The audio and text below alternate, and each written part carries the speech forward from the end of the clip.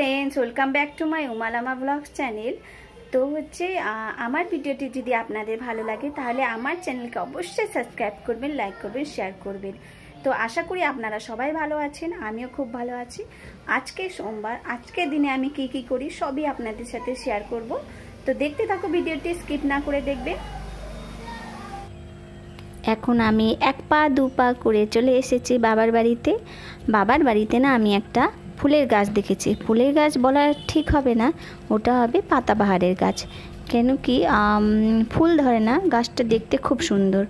তো আমার খুব ভালো লেগেছে, সেজন্য আমি আগের থেকেই ভেবে রেখেছিলাম যে এই গাছটা একটা ডাল আমি নিবই।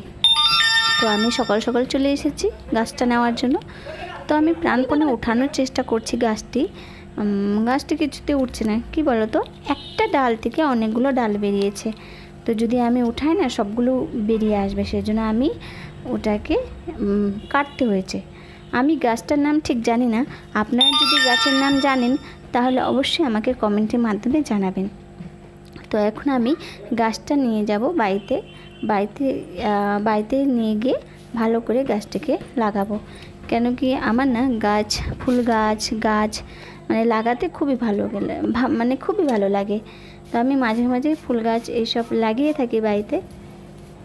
তো আমি এখন ফুল গাছ লাগাচ্ছি। আমি হচ্ছে গাছপ্রেমী মানুষ। থাকি না, গাছপ্রেমী মানুষ, ওই ধরনের মানুষ আমি।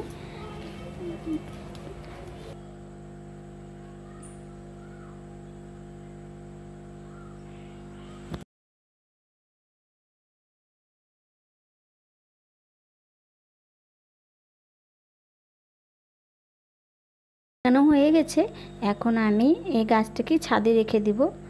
যাতে একটু রোদ পাক হাওয়া পাক আলো পাক সব পাক। কিন্তু বৃষ্টি পড়বে যে আমি জানি না। তো হচ্ছে বৃষ্টি পড়েছে তার ফলে না গাছের মধ্যে সব জল না ভরে গিয়েছে আর গাছটা হেলে পড়ছে। সেজন্য গাছটার থেকে আমি টবটা থেকে আমি জল বের করছি। আসলে এটা টব না এটা ওটসের কোটা যেটাতে আমি গাছ লাগিয়েছি কেন কি ফেটে গিয়েছিল। তো আমি বুঝতেই পারি না যে এত বৃষ্টি পড়বে আর জলগুলো সব ভরে যাবে কৌটোতে। বিকেল টাইম মানে টিফিন টাইম। তো টিফিন টাইমে কিছু না খেলে হয়। তো চলো আমি ঝটপট করে পাস্তা বানিয়ে নিই। পাস্তা একটুখানি বানাবো। সবাই একটু একটু করে খাবে। তো আমি জল আমি পাস্তা বানাচ্ছি। তো পাস্তা খেতে খুবই ভালো লাগে। পাস্তার মধ্যে যদি একটু বাটার দেওয়া হয় না, তাহলে আরও টেস্টি হয়ে যায়।